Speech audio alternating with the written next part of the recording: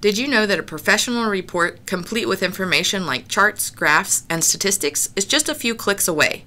With Wonderware Historian Client, it is. Let's check it out.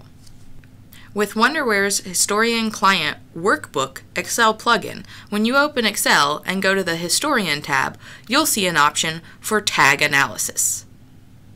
Tag Analysis will allow us to create the detailed report we just looked at. First you click on Tag Analysis and it will open up a wizard. Choose the analysis you want to do, in this case analog tag analysis, and hit Next. Now enter the tag you want to do the analysis on. If you don't want to type it directly, you can browse with the ellipsis.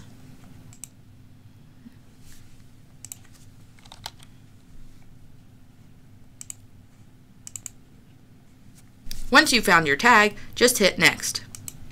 Now enter the start time and duration for the report of the analysis you want to do. Remember, this is military time.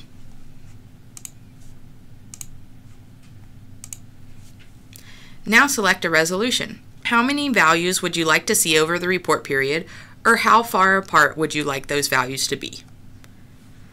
Once you've entered that, hit Next again. Now select which statistics or features of the report you'd like to turn on or off. If you have limits or a target range that you want to evaluate, you can enter it here, or you can enter it later once the report is in Excel. Now all you have to do is hit Finish. A new sheet is added to your workbook containing the report. The number of sample values you requested are shown here, the statistics you asked for are shown in the middle, a trend chart and pie graph are also shown. The target range or limits will help you evaluate these two graphs. In this case, let's say we want to evaluate how well our temperature stayed in between 50 and 150 degrees. We can change that here and look at the updates in our graphs. It's changed the limit lines on our trend chart and the pie chart information. Here I can see that 46% of the values shown in this report are within the target range. 37% are below and 17% are above.